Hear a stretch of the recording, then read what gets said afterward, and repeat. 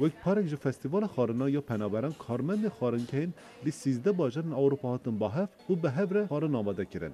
ده فستیوال ده خلط خارنا هر نافدار پنابر سوری عبدالبسط قزنج کرد ایرو ام خوارنک سوری آماده بکن. ناوی ملوخیه اف خوارن به شینکای تی چیکرن و لگل برنج تی پیشکش کرن. عبدالباسط ده سال ده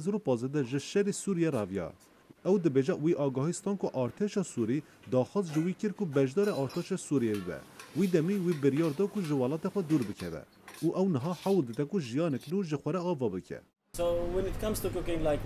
دما مروف تین ور خوارن دخون بحث روش سوریه دکن بنرین من اف درفتک که مروف بین با هبو گهداری چیروکین هف بکن یعنی فناخن خودی ویجهیه او او باور دکه کو پنابر دکارن باندوره که گلک باش لسر کار خوارنگه ها چکه. اف یک هر دم گلک باشه که ام بکارین ببینین.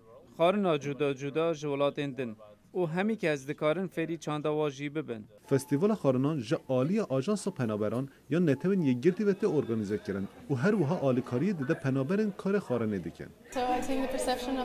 از باورم نها مروین اروپا نرین نباش درباره پنابران هنه جبر وی که از بیجم کوپشگیری فستیوال وها گله گرنگه.